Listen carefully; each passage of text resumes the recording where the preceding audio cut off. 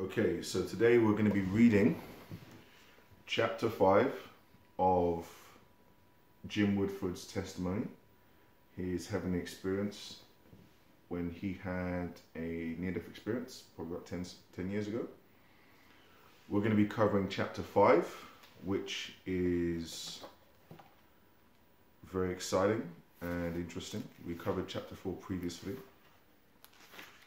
My advice to you before I begin this video is focus, concentrate on what I'm saying, because there are some valuable insights that he gained when he was walking the streets of heaven surrounded by angels. Okay, so so chapter 5 is entitled Walking with Angels, and the introduction is this. It's a biblical reference. It's and the city has no need of sun or moon, for the glory of God illuminates the city, and the Lamb is its light. The nations will walk in its light, and the kings of the world will enter into the city in all their glory. Its gates will never be closed at the end of the day, because there is no night there. And all the nations will bring their glory and honor into this city. Nothing evil will be allowed to enter into the city, nor anyone who practices shameful idolatry and dishonesty, but only those whose names are written in the Lamb's Book of Life. That's Revelation 21, uh, verse 23 to 27. That is just a small chapter introduction in the book, but the actual testimony begins now. So, what is heaven like? So, what is heaven like? Heaven is similar to the earth, but 10,000 times 10,000 times more beautiful and serene. The most grandiose vistas and scenery on earth are only vague hints of the beauty that God has prepared for us in paradise. The most unexpected aspect of heaven's landscape was that color has sound and sound has color, creating a sensory spectrum that overwhelmed my being with a sense of wonder. So, what he's saying is that colors themselves have sounds, and sounds themselves have colors. So, this is a new dimension that exists in heaven. Again, the commanding angel bowed to me in a gesture of invitation, saying, Would you walk with us? I nodded my head in acceptance. Then the angel turned gracefully and gestured with his arm in the direction that he wanted me to go. Now, with an angel on either side of me, the tall angel directly behind, they began to usher me into a landscape of unimaginable beauty. So he was surrounded. So he had one angel to the left, one angel to the right, and one angel behind him, and they're kind of walking in, in an almost diamond formation. I was forgetting the tunnel of light and the dark pit that was behind me, and was totally present to those who attended my journey. And this part is called IMAX vision. Heaven is not a globe or a sphere or a planet. So there is no disappearing horizon because there's no curvature to the space, I understand. Heaven is not a globe or a sphere, so there's no disappearing horizon in the landscape. Heaven is a continuous panorama expanding to infinity in every direction. Yet I could see features right in front of me with great clarity. It was as if the concept of distance was expelled from heaven and eternity. Heaven exists in a spiritual dimension beyond our earthly terrestrial experience. Things like colors, time, relative size, and distances are finite terms that are not really useful for describing the infinite nature of heaven. So he stepped into a different dimension and he started to realize that some of the rules of reality in the way things function are different. And it's quite exciting. He's talking about colors and uh, you know, kind of how distance operates and the fact that there's no curvature to the space because there's it's not a sphere; it's just going on in infinitely forward, which is fascinating. As I was walking along the path with the angels, there was a great augmentation of my ability to see not only what was before me, but also in every direction at once. There was a full peripheral vision on all sides, behind and in front, without turning my head in any direction. It was more of a panoramic awareness. I am at a loss to explain the clarity of awareness in heaven. We see everything here in this life in mostly a surface level, two dimensional perspective. The vision in heaven allowed me to see at greater depth. There was a 360 degrees of vision that I can only compare to being in an IMAX theatre with no limitation in depth or distance. It was as though I could see a single bloom of a flower on the side of a distant mountain, yet also see those sights directly in front of me at the same time. My eyes became as a microscope and a telephoto lens simultaneously. So, what he's describing is that his vision and his visual ability, whilst in his spiritual body, was beyond anything that he had experienced before. Not only was he able to see at great distances, we would say millions of miles very easily, he was also able to see simultaneously what was behind him and in front of him. And he could also look at something in the distance and in front of him at the same time. And there was no limitation to what he could see in the distance, which again is just an incredible uh, kind of testimony about the power of the spiritual body and the spiritual eyes, which is fascinating. This bit is called the, the, the landscape of heaven. So heaven's landscape was punctuated with recognizable features like the appearance of mountains, trees, flora of all kinds, flowers, streams, and brooks filled with brilliant blue and crystal water. All of the features of the surrounding landscape were filled with a bedazzling array of colours and sounds beyond any artist's palette or composer's manuscript. All are laid out in a multi-sensory banquet under a brilliant blue sun, yet sunless sky. So he said the sky was blue, according to his uh, understanding. In my estimation, the blue was a deeper blue than I was used to seeing in the sky. Not a darker blue, rather a deeper blue. As we walked along, this simple woodland path surrounded with lush green grass appeared before me.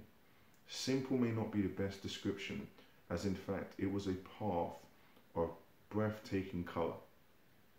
There were blooms of flowers of dizzying variety bordering the path on both sides. So he's walking kind of through a woodland path with flowers on each side. Trees bedecked with iridescent leaves hung over the surrounding landscape we were walking through. I was on sensory overload and had to pause to take in the scenery with the angels on either side of me. They stopped to allow me to absorb what I was seeing. As I looked down at the flowers along the path, I was confused at first. He's looking at flowers now. It looked to me as if the flowers were all one mass of colour, but I discovered as I bent down closer that the petals of every flower were translucent, like stained glass. The flowers were pearlescent. Each flower, each flower's color merged with the colors of the next flower, one beneath the other, so in kind of layers. There would be a red flower, and beneath the red flower would be a yellow flower, and then a blue flower below that, and a green, and then green with the stem. The appearance of the flowers reminded me of multifaceted stained glass of every color melded together, providing shades of known and yet indescribable varieties of color, and colors merging with the others. I stopped to study them a little more closely. One of the angels saw that I was obviously transfixed and overwhelmed by the wonder of the flowers and smiled in delight. As we moved along slowly, the angel pointed out various aspects of this indescribable flora. The flowers not only had color, they had sound as well.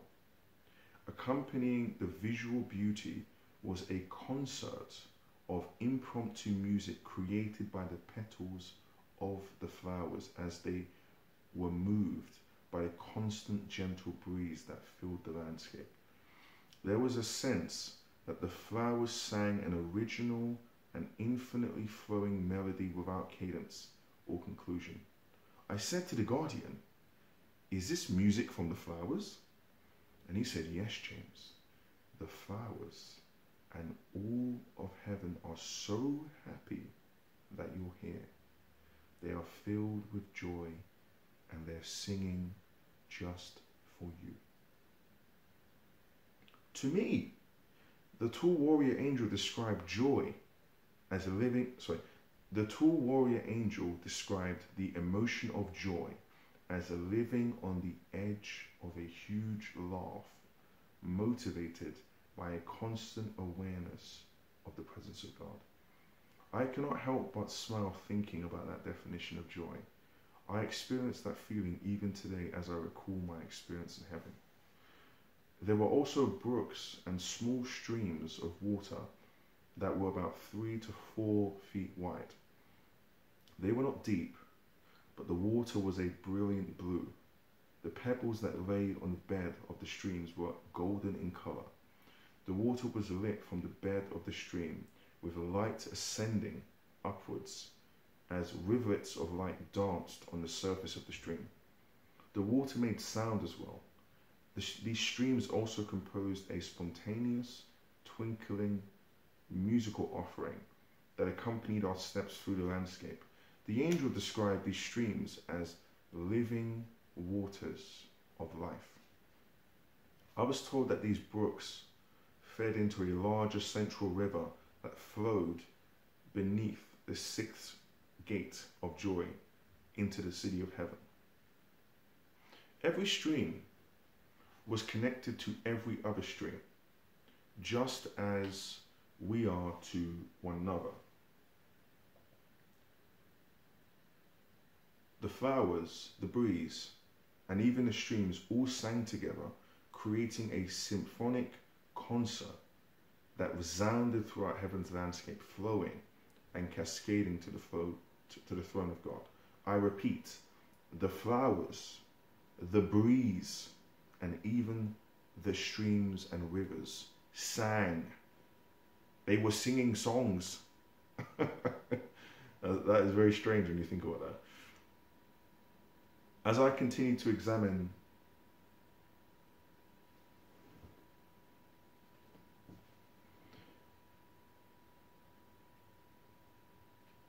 As I continued to examine the flowers, I bent towards them, and the most wonderful fragrance came up from the flowers, like everything else I experienced in the Garden of Heaven.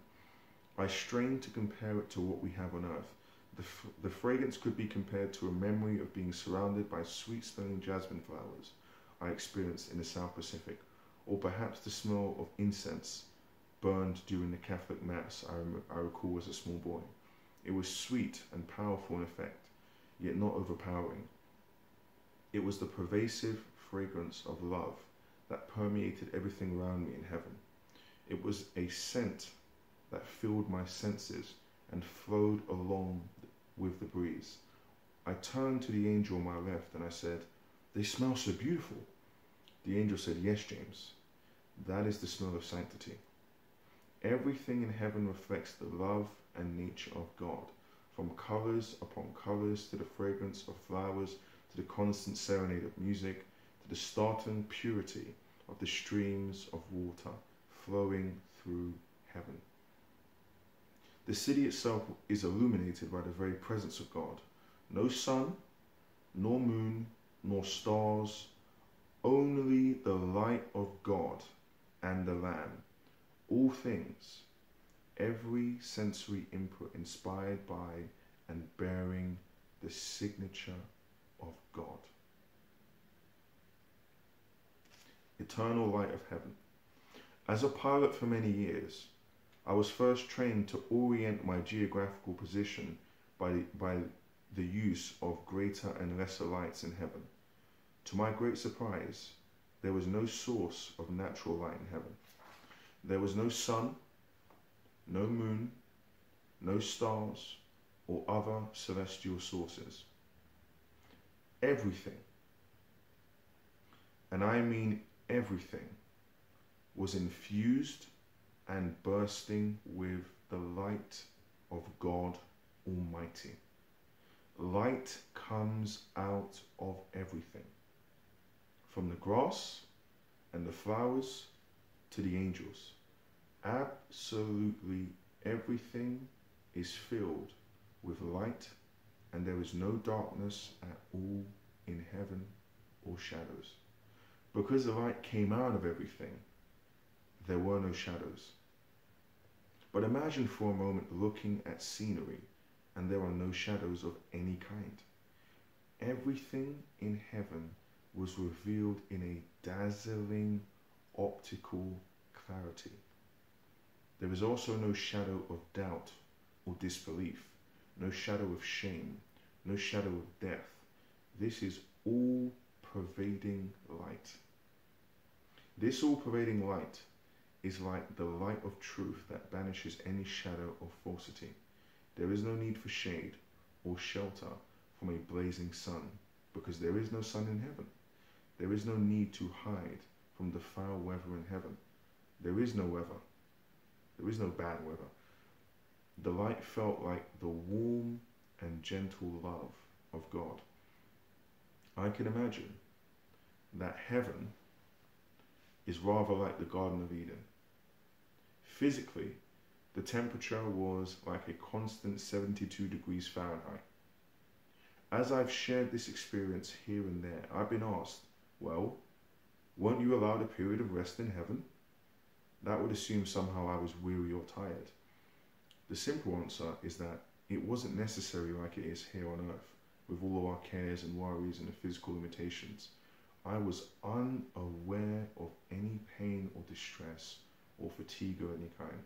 In fact, the only emotion carried to the precincts of heaven is love. Love. To my awareness, my body was more a blend of spirit and flesh, and there and there was sorry, yeah, and there was no weariness or physical fatigue. Yet I could move as I did in my earthly body. Although I was not sorry, although I was not weary, there were along the pathway, meaning, meaning the path that he was going, little alcoves or areas where one might pause for a meditative reflection. Nests of quiet focus as a person might do at twilight or at the end of a full day. These spaces were softly snuggled in the green and varied flora and filled with music of heaven's joyful greeting. Yet there is no end of day and et- yet sorry, yet there is no end of day and eternal light in heaven. There is the rest, sorry, there is rest in the embrace of heaven's loving light. Enthralled, I gathered in the sights and sounds of heaven's landscape that spread out before and around me in every direction. As we walked along, we came to a large meadow in the midst of heaven's garden. It was bordered by a familiar sight that had been with me on earth for most of my life, a sight that was a delight to me, and that made me feel as though heaven and this precinct of paradise was created just for me. And this sight that I was familiar with were horses. There were horses in heaven. So that is chapter four of Jim Woodford's book. I hope you enjoyed that. I'm going to read another chapter next, and that chapter is going to be when he met a very special person in heaven. That uh, I hope that you would, uh, you know, he, he, met, he met a very special person in heaven, and I'm going to leave it at that. So thank you so much, and if you enjoyed that, please feel free to leave a comment, uh, like the video if you like to, and subscribe if you if you enjoyed my content. Thank you.